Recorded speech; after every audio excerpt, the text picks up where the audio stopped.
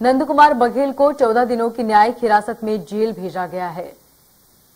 नंद कुमार बघेल को रायपुर की पुलिस ने आगरा में गिरफ़्तार कर कोर्ट में पेश किया था, जहाँ से उन्हें न्यायिक हिरासत में भेजा गया है।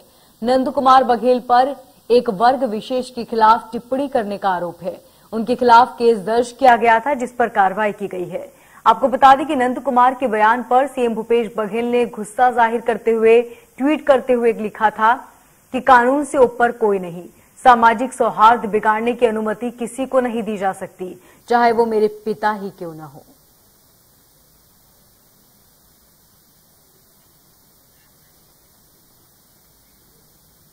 नंद कुमार बघेल की गिरफ्तारी पर पूर्व मंत्री राजेश मोड़त ने कहा है कि ये सब राजनीतिक नौटंकी है।